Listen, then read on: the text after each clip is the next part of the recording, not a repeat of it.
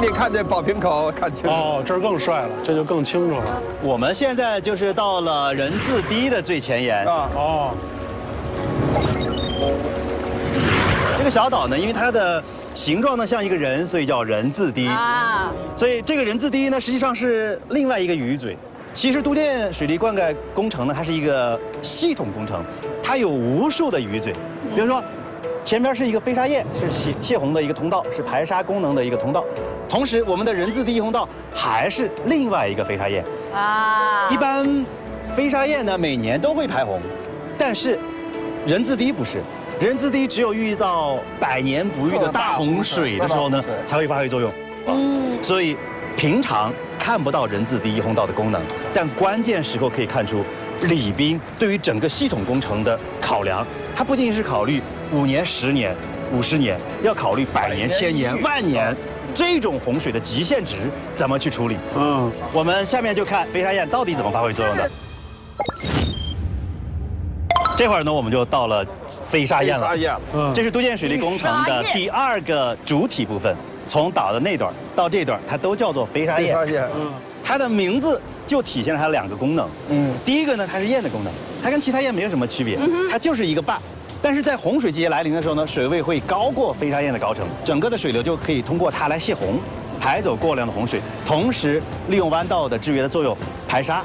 所以它是在丰水期的时候呢排洪排沙，在枯水期的时候呢拦水灌田，双向功能集于一身，所以它叫飞沙堰那这个所谓的岁修啊，就是每年它要在改造修缮，这个意思。对岁修呢，从它的表面字义来理解，它就是年年岁岁要修。但是岁修这种制度呢，它分几个部分，第一叫岁修，嗯，第二呢叫大修，它三年一大修，五年要特修，遇到特殊情况还要进行抢修。嗯，所以岁修这种制度呢，它不仅仅是说每年修一下就完了，灵活的，它是一个非常灵活的一个修建制度，所以它也是作为都江堰不为人知的第二个秘密，也是第二个伟大之处，就是岁修制度。岁修岁修制度已经传承两千多年了。这时候我们在溯源到它的最前沿鱼嘴去看都江堰，前面就是鱼嘴，啊，鱼嘴，也是整个都江堰水利工程的最前沿。终于看到鱼嘴儿了。到对啊了。鱼嘴本嘴，对，在这里我们可以看到岷江水流从整个的崇山峻岭之下奔腾而下，哦，这么大的水流在此被进行了一个驯服。驯服的一个核心不在于把它堵住，而在于分流。哦，分流以后的水流呢，就形成了内外两江，所以我们在这里看到它开始分江了，四六分水。它在整个修建的时候的内江河床就挖的深一点，对所以在枯水期的时候呢，水往低处流，首先进入内江，保证有充足水流对灌区进行灌溉。但是它在修建的时候呢，外江的江面修得比内江的江面要宽一些，所以在丰水期的时候，外江江面越宽，它的横切面随着水位的抬升就会越来越大，它的排洪能力是随着水位的提升而与日俱增的。所以外江能够在丰水期的时候呢，排走百分之六十的洪水，所以就起到了一个四六分水的作用。四六分水只是一个问题，还有一个功能，嗯，叫二八分沙。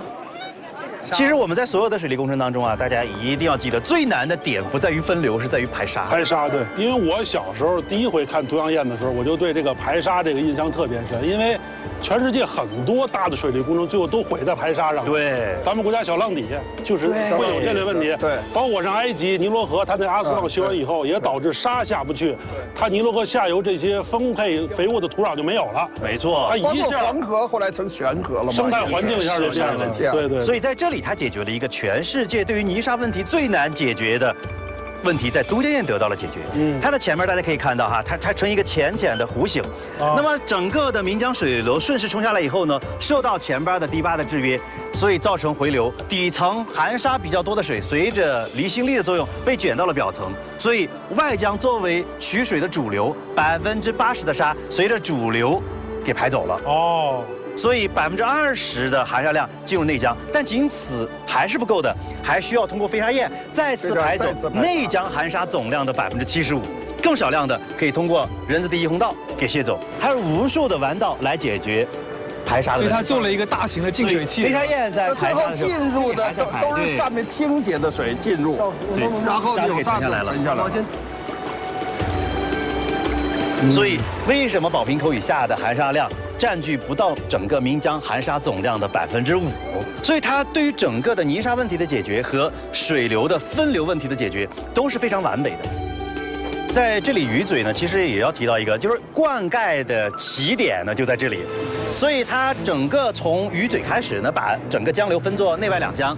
其实内江再往下呢，再次的分作两江，不断的二分二分。其实通过无数的鱼嘴，造就了整个的密如蛛网的灌溉渠系。从这里是一个顶部，从这个顶部呢，就像一个张开的折扇一样的，然后慢慢的往四个方向去倾斜。倾斜开了以后呢，一个折扇的冲击平原就出来了，这就是成都平原。哦，它从初期啊，它的灌溉面积呢只有不到五十万亩，但是到现在呢，已经超过了一千万亩，灌溉了七个市、三十七个县，嗯嗯嗯，一千零三十三万亩的区域呢，都是受到了它的滋养。所以这样一来的话，整个的成都平原就慢慢的扩展成为了一个养育几千万人口的一个平原。嗯，成都奠定了一个世界的美食之都、休闲之都，也是中国中西部的国家中心城市。遗憾的就是这种系统的道法自然的人与自然和谐的水利系统，而没在地球上很多国家很多工程中应用，我觉得这是非常可惜的。嗯，这这包括这种雨水分流，我希望还是都没有引进来学习。对，这就是我们为什么要有一万里走单骑。对对，所以我们在这种兼做柔做的这种对比当中，看可以看出李斌的这种智慧。我们现在就去体验一把，好，那边。